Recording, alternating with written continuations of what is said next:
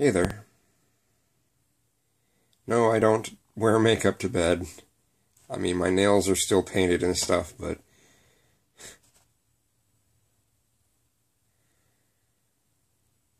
Man, what a what a huge, huge weight off my shoulders. What a huge, huge weight off my shoulders. And I had a talk with my mother a little earlier. Woke up with my stomach growling, so I went and grabbed something to eat, and then I'm going back to bed for a little bit. But, um,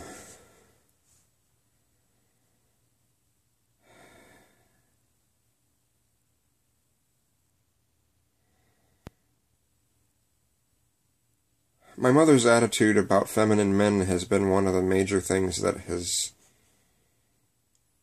for all these years, has made me try to go for the sort of hyper masculine thing.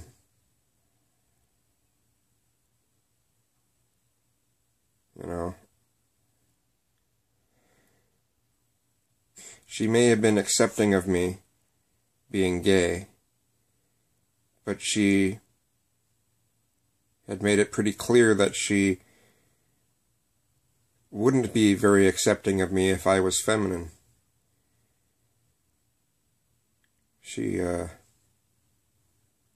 ever since I came out when I was 17, she's, she's said here and there that, uh, well, if I ever turn out queenie, really feminine, that she'd beat the crap out of me.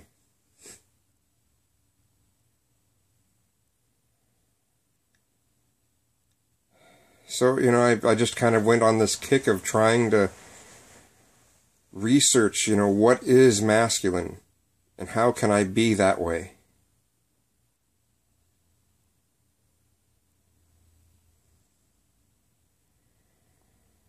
I just made it a major thing.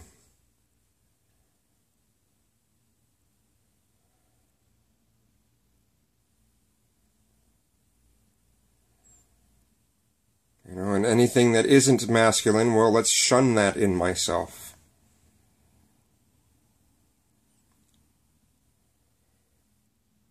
It's kind of odd um, how I look back at just how much I would surround myself with people who would judge me if I w- was feminine.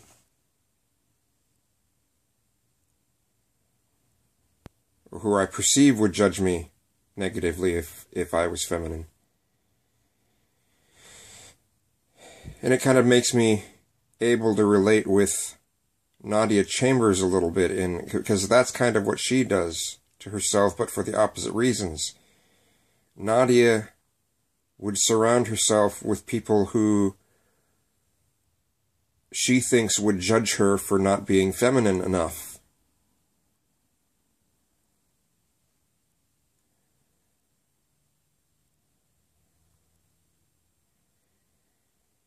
It's kind of odd um, what we do to ourselves, what people do to themselves, how much we can beat ourselves up over perceived things that are just bullshit, you know?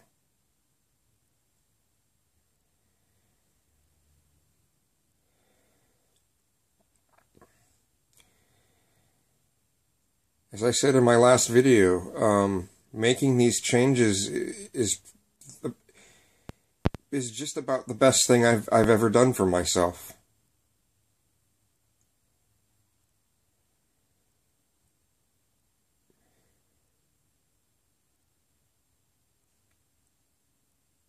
You know, this morning, I mean, when I when I first woke up, I was just thinking about how I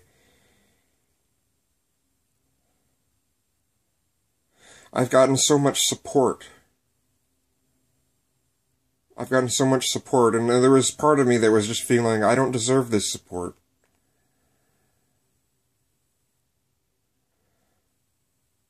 I was crying.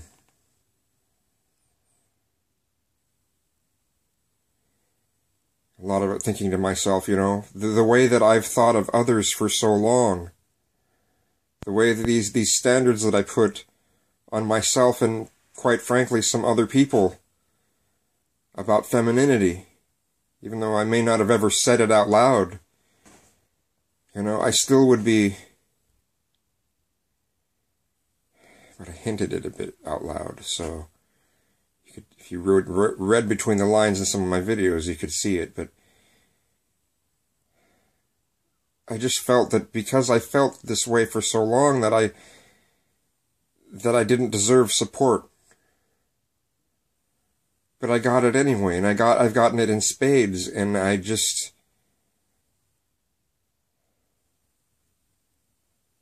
thank you. Thank you all. I just I, I wasn't expecting this.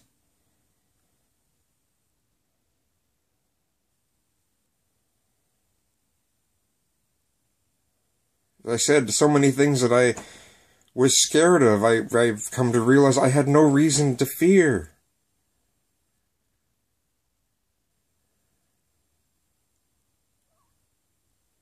In actuality, I was my own worst enemy.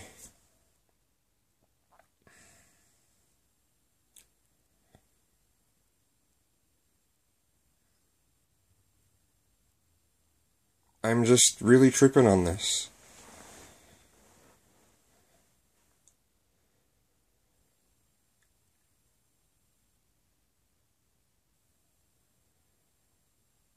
There's just it's kind of weird. It's just like it's become something. Well, what reason do I have to be angry?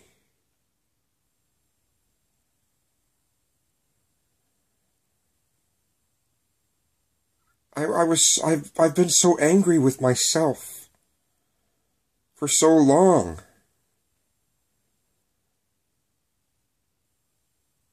And it's weird to have this calmness, this almost a silence in my head.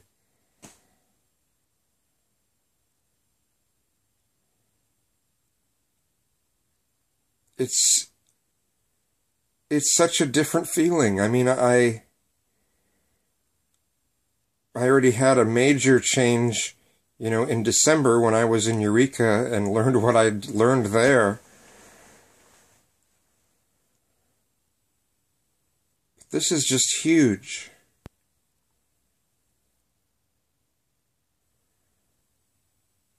Just what an amazing turn of events since August of 2013. What what an amazing turn of events for me internally anyway.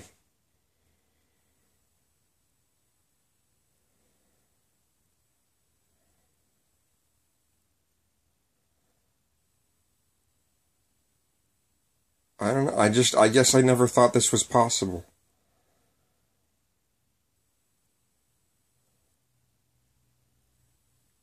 I'm, I am, I'm just so happy now.